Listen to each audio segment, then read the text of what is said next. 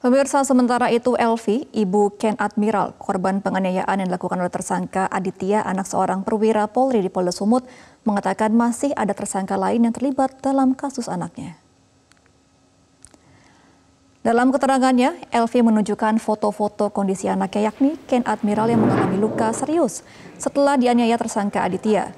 Ia juga mengungkapkan bahwa dalam kasus penganiayaan anaknya masih ada beberapa orang yang belum di BAP, yakni Raja Siregar yang disebut-sebut sebagai pelaku penodong senjata atas perintah AKBP Akhirudin Hasibuan.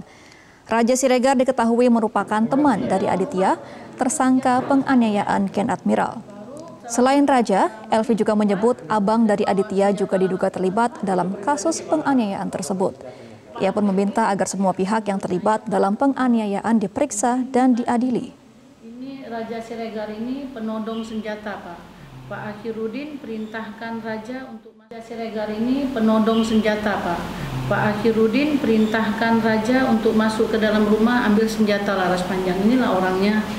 Nah, cuman kan ini masih belum ada saya nengok eh, apa di BAP juga sama sekali belum ada dipanggil mungkin, Pak tapi ini termasuk yang nodongin senjata atas perintah Pak Akhirudin. Itu ada tertuang dalam BAP ya?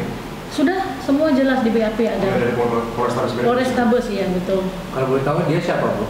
Ini kawannya Aditya, ini kawannya Aditya yang dia bilang aku hajar kau nanti. Ini juga jelas di videonya ada.